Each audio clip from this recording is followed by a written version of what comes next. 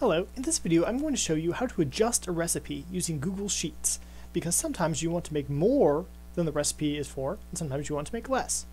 So I'm first going to open up uh, my recipe with this link in a new tab by um, pressing the middle button often works. And then I'm going to open up the Google Sheet by clicking under your work. And now, to make it easier for me to copy things over from the recipe, I'm going to smash the recipe across this side of my screen and the Google Sheet along this side of my screen. And that will work a little bit different depending on what kind of computer you have. You might have to adjust the windows yourself. But now I can conveniently look at my recipe and enter it into my sheet. So the volume measure is going to be two and a half cups. So I'm going to change that into a decimal, which is two and a half is equivalent to 2.5. And then the units are going to be cups. So two and a half cups. I have that right there. Now, I am going to look at salt.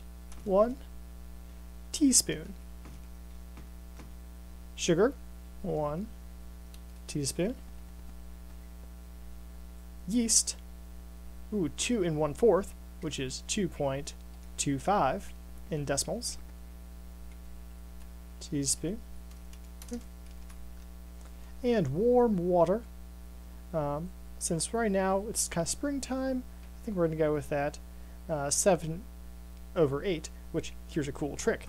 You can press equals 7 over 8, and it'll convert it to a decimal for you, just like that. It's pretty neat.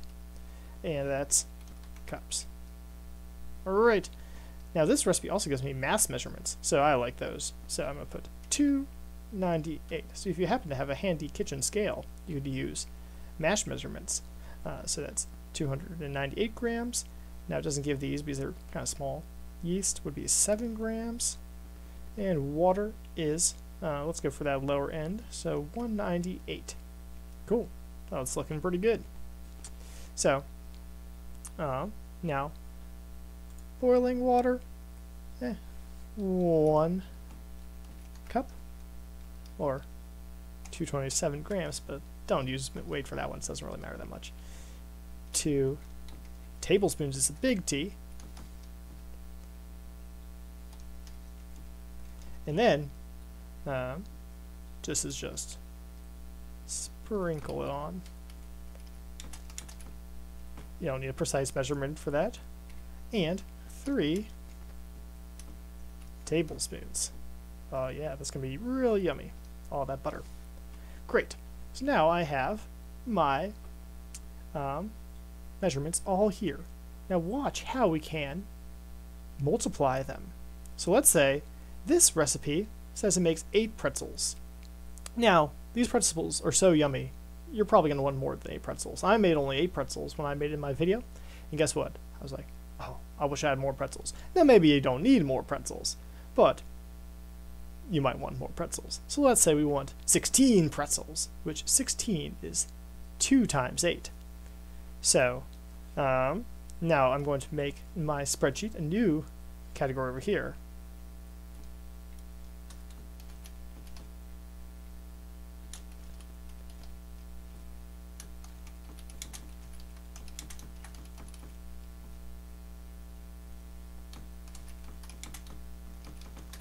So I have some nice new columns I've just named here, which are going to help me to um, calculate how much I should use of each of these ingredients. So here where I say double volume, you can actually make Google Sheets calculate all this for you, so you don't have to use a calculator or your head, though it's good practice with math facts if you use your head. But if you're lazy, here's how you can do it. You can press click, double click into the cell where you see the cursor. Then press the equals key. This is going to make it calculate. Whenever you put the equals key first, Google Sheets is going to calculate for you.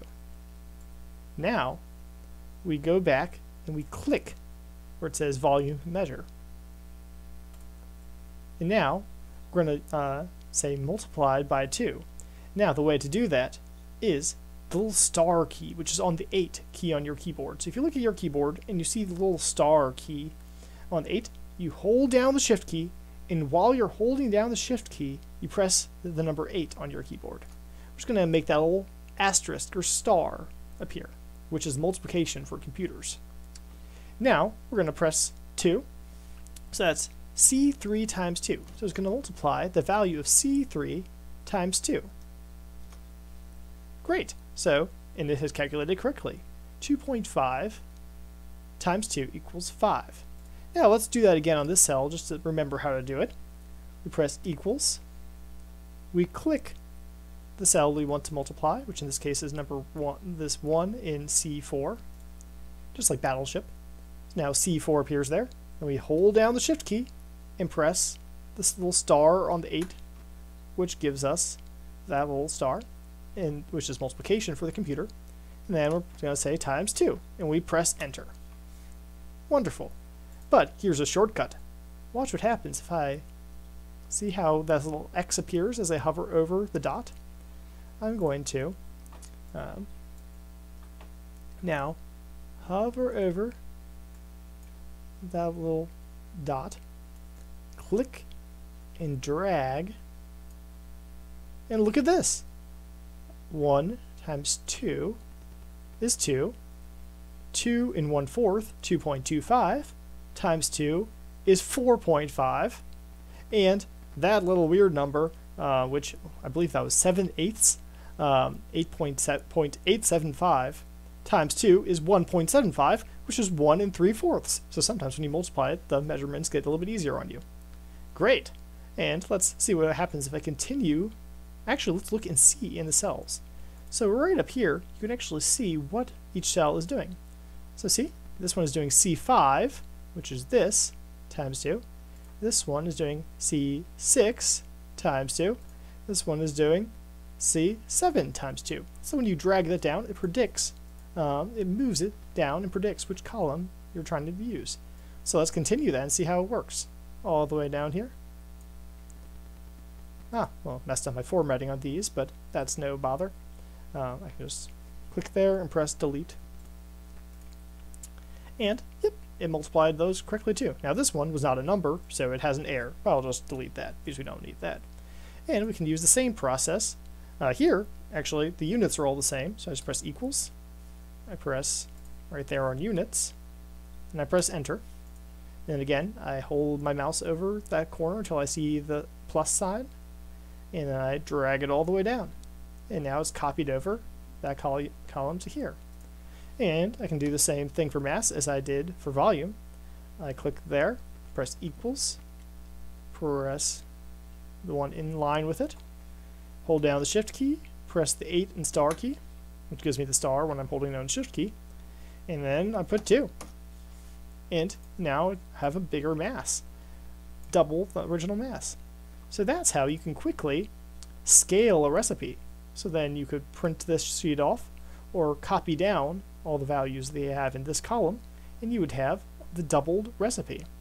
So hopefully this has been helpful to learn how to use Google Sheets with your cooking to scale a recipe to make it bigger or smaller than the original recipe.